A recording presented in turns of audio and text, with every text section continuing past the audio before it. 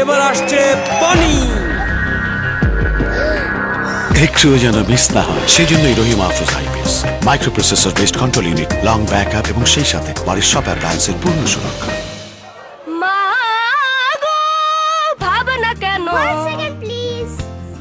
Rahim Afroz IPS.